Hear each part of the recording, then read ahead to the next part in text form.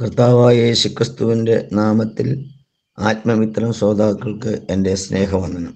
തിന്നാലും കുടിച്ചാലും എന്തു ചെയ്താലും ദൈവത്തിന്റെ മുഖത്തിനായി ചെയ്യണമെന്ന് അപ്പോസ്തോലൻ ഒന്ന് കോരുന്നൊരു പത്തിന്റെ മുപ്പത്തൊന്നിൽ പറഞ്ഞിരിക്കുന്ന വിഷയമാണ് മുമ്പ് ചിന്തിക്കാനായിട്ടിടയായത്. ഇതിനോട് ചേർന്ന് ഒന്ന് കോരുന്നൊരു ഒമ്പതിന്റെ പന്ത്രണ്ടിൽ പറഞ്ഞിരിക്കുന്ന വിഷയം നോക്കാം. ക്രിസ്തുവിന്റെ സുവിശേഷത്തിന് യാതൊരു വിഘ്നവും വരുത്താതിരിപ്പാൻ സകലവും പൊറുക്കുന്നു.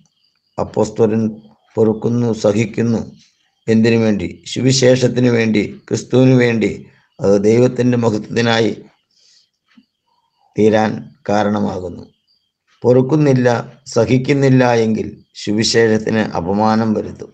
ഇവിടെ ഏത് സാഹചര്യത്തിലാണ് അപ്പോസ്തോലൻ പറയുന്നത് എന്ന് നോക്കാം. ഒന്ന് കോരുന്ന ഒമ്പതാം അധ്യായത്തിൽ ആരംഭ ഭാഗത്ത് നമുക്ക് കാണാനായിട്ട് കഴിയുന്നത് എന്റെ അപ്പോസ്തോലത്തിന്റെ മുദ്ര നിങ്ങളല്ലയോ എന്ന് ചോദിക്കുന്നു. അതിൽ നിന്നും തന്റെ അപ്പോസ്തോലത്തെ ചോദ്യം ചെയ്യുന്നവർ അവിടെ ഉണ്ടായിരുന്നു എന്ന് കാണാൻ കഴിയും. പിന്നീട് നമുക്ക് കാണാൻ കഴിയുന്നത് സ്വന്തം ചെലവിന്മേൽ യുദ്ധ ചെയ്യുന്നവൻ ആർ.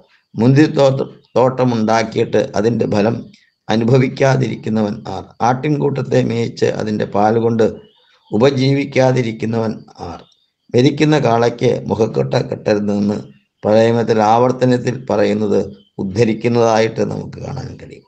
മറ്റുള്ളവർക്ക് നിങ്ങളുടെ മേൽ അധികാരമുണ്ടെങ്കിൽ ഞങ്ങൾക്ക് എത്ര അധികം?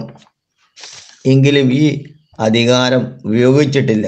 അപ്പോസ്തലൻ സ്വന്ത കൈയാൽ അധ്വാനിച്ച് ഉപജീവനം എന്ന് കൊരിന്തി എന്നും കൊരിന്തിയർ വേലയ്ക്ക് കൂട്ടായ്മ കാണിച്ചിട്ടില്ല എന്നും ആണ് നമുക്ക് മനസ്സിലാക്കാനായിട്ട് കഴിയുന്നത്. മുൻ പറഞ്ഞ കാര്യങ്ങൾ അവരിൽ നിന്നുണ്ടായി എങ്കിലും ഇവയെല്ലാം പൗലോസ് പുറത്തു സഹിച്ചു. എന്തിനു വേണ്ടി? സുവിശേഷത്തിന് തടസ്സം വരാതിരിപ്പാൻ.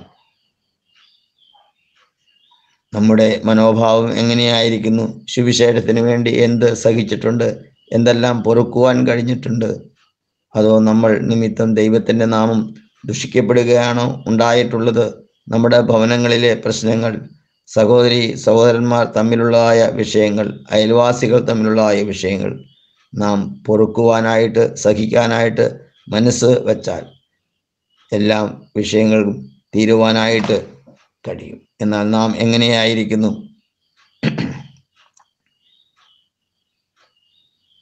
അതുകൊണ്ട് സുവിശേഷത്തിന് യാതൊരു വിഘ്നവും ഞാൻ മുഖാന്തരം ഉണ്ടാകുകയില്ല എന്ന് ഒരു തീരുമാനമെടുത്ത് അതിനുവേണ്ടി എന്തും ഏതും സഹിക്കുവാൻ നാം മനസ്സ് വെച്ചാൽ നമ്മുടെ ആഗ്രഹങ്ങളെ സാധിപ്പിക്കുന്ന ദൈവമാണ് നമുക്കുള്ളത്. അപ്പോസനായ പൗലോസ് ഒന്ന് കോരിന്തൽ പതിനൊന്നിന്റെ ഒന്നിൽ ഞാൻ ക്രിസ്തുവിന്റെ അനുകാരി ആയിരിക്കുന്നത് പോലെ നിങ്ങളും എന്റെ അനുകാരികൾ ആകുവിൻ. പൗലോസ് സുവിശേഷത്തിന് വേണ്ടി സഹിച്ചത് ക്രിസ്തുവിന്റെ അനുകാരിയായതുകൊണ്ടാണ് എന്ന് പറഞ്ഞാൽ ക്രിസ്തു മനുഷ്യവർഗത്തിന് വേണ്ടി താഴ്ച അനുഭവിച്ച് ഈ ഭൂമിയിലേക്ക് വരികയും നമ്മുടെ പാപങ്ങളെ കർത്താവ് ഏറ്റെടുക്കുകയും അങ്ങനെ നമ്മുടെ പാപങ്ങളെ ക്ഷമിപ്പാൻ തക്കോണം നമ്മുടെ പാപങ്ങളെ പൊറുക്കുവാൻ തക്കോണം നമുക്ക് ദൈവസനിൽ പ്രവേശനം ലഭിക്കാനായിട്ട് ഇടയായിരുന്നു അപ്പോസ്തനായ പൗലോസ് കുരിന്തിരോട് പുറത്തു സഹിച്ചു ദൈവത്തിന്റെ നാമത്തിന്റെ മഹത്വത്തിനാണ് സുവിശേഷത്തിന് വേണ്ടിയാണ്. കഴിഞ്ഞ എത്രയോ നാളുകളായി നാം സുവിശേഷത്തിന് സുവിശേഷം സ്വീകരിച്ചു എന്നാൽ അത് നിമിത്തം കഷ്ടമോ നഷ്ടമോ അപമാനമോ സഹിച്ചിട്ടുണ്ടോ? ഇല്ല എങ്കിൽ സുവിശേഷത്തിന്റെ ശക്തി നമ്മിൽ വ്യാപരിക്കുന്നില്ല.